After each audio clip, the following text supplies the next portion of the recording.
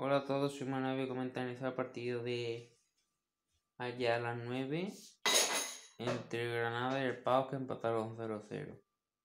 Así se sitúan los dos equipos.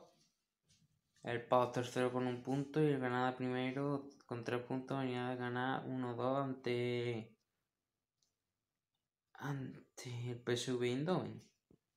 Así salió, esta alineación fue de Granada. Ruiz Silva, Neva, Germán Vallejo Puerta con Alonso, Machín Milla, Ángel Herrera Kennedy y Luis Suárez. Esto fue del PAO, la alineación. Estos fueron los cambios del Granada entre Montoro, Soro, Molina, Tequi y Duarte. Estos fueron los cambios, vamos a comentarlo. Bueno, Granada fue superior al primer, en todo partido.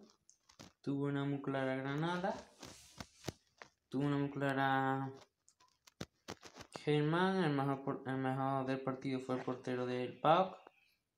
Estos fueron los cambios y que no hubo ocasiones muy destacadas.